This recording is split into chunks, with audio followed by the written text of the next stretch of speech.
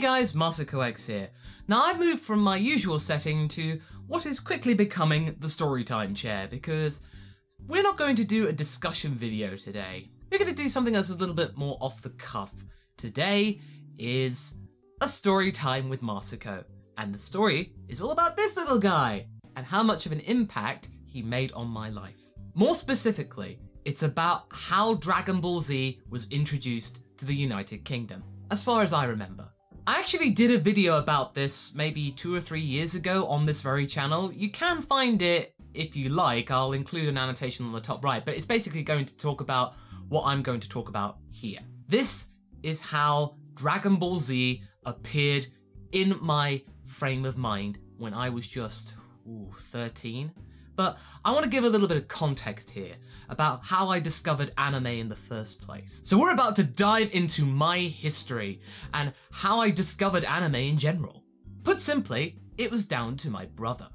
My brother is about maybe five and a half years older than me, and he is a lot taller than I am. And I'm tall, I'm about like well, six foot three. Any of you who've met me in person will agree that I am pretty tall. And my brother, he's like six foot seven. But anyway, he was quite intimidating and we didn't really get on much in our childhood. But the one thing that we did connect with was anime.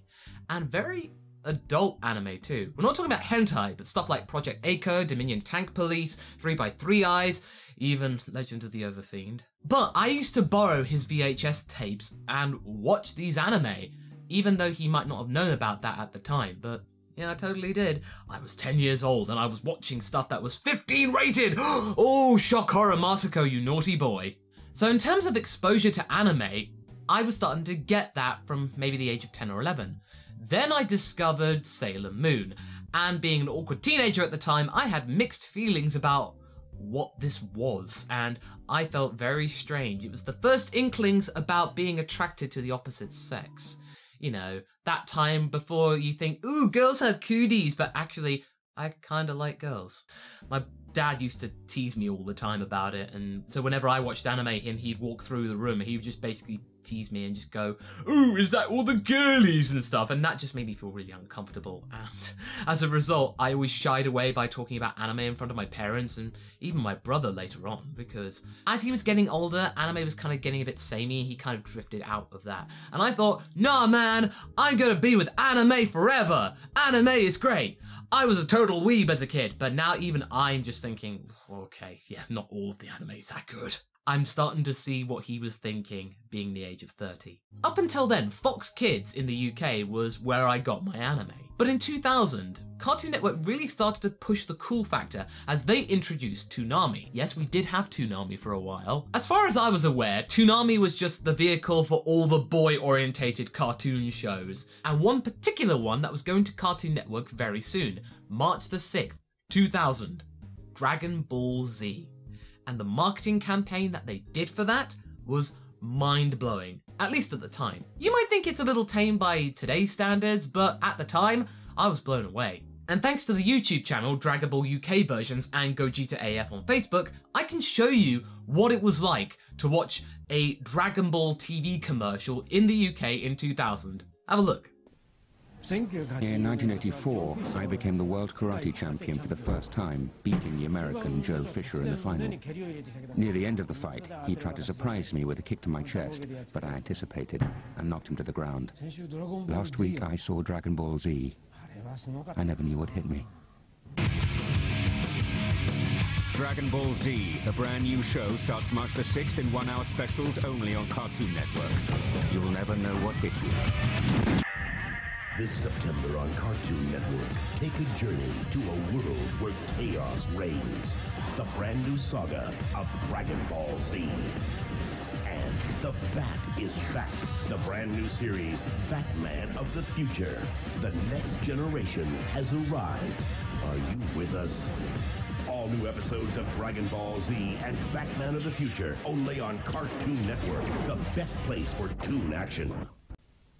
Just when you thought the universe was safe, Earth is threatened by an unknown force. Krillin can feel it. Gohan can feel it. Even King Kai can sense it, and it's making our heroes' blood boil.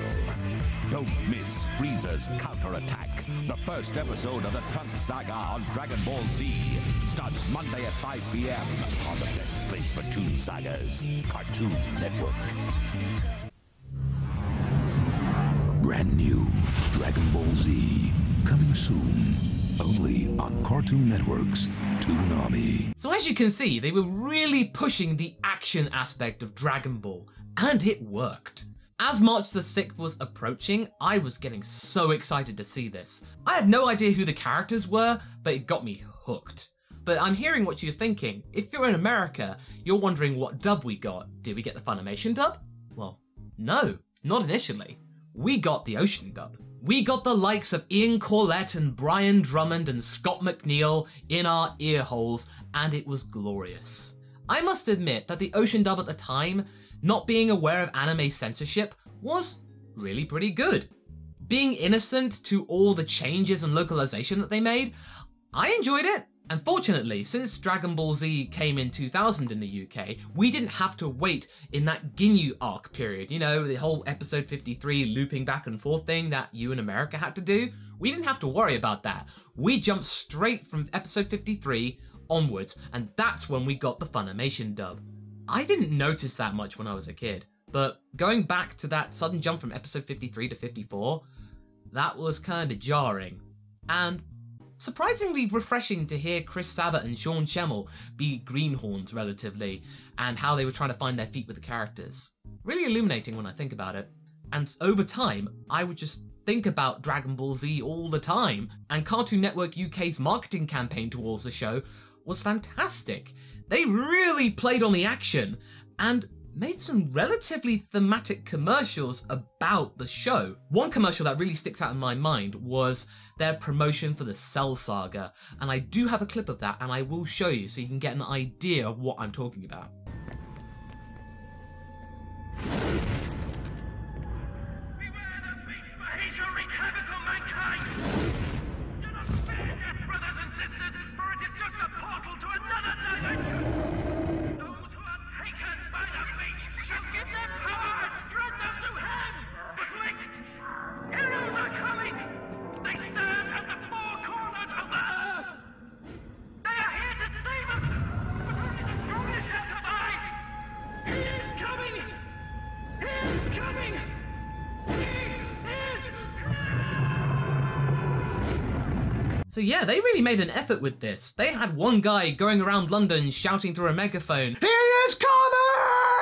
Now that's commitment. So as I was developing, I watched AMV after AMV on dial-up internet as you did in 2000. But then luckily when we got broadband that same year, I was able to kind of get a good idea about what else there was of Dragon Ball. From there, I discovered GT.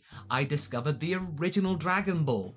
I discovered all the fan comics and all the portals and stuff like Daizenshu EX where they had a cornucopia of information about the series.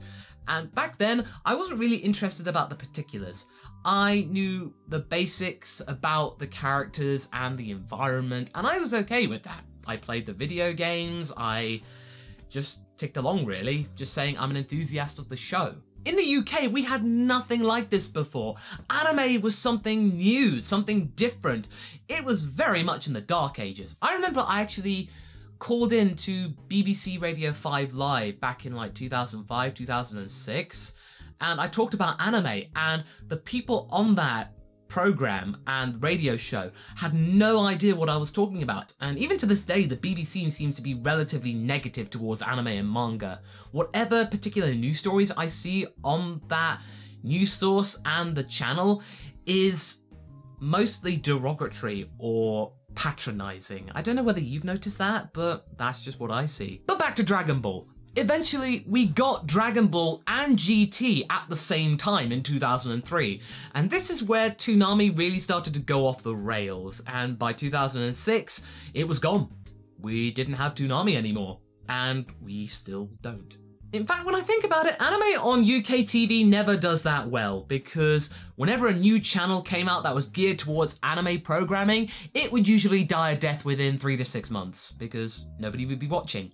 You can't make a channel that is geared towards anime in the UK.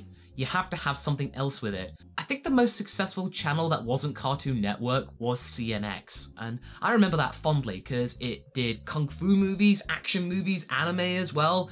It had a triple A block which was action, adventure, and anime, and that was the best thing to do. I acted pretty much like any other teenager did when I first saw Dragon Ball. I tried to draw stuff in the Dragon Ball Z style. I made flash animations on Newgrounds, which you can still find. I just could not get enough of it. And one story I remember my dad walked in on me when I was watching the Cell games, and he asked me, and this is what he said Why is that man in green trousers screaming? I don't know, Dad. Why is that guy in green trousers screaming?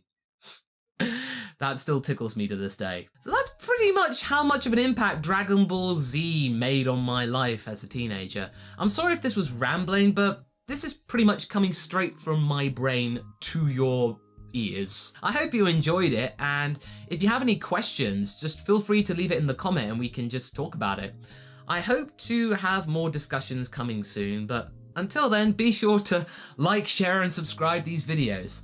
And until next time, guys, I hope you're well, and catch you later.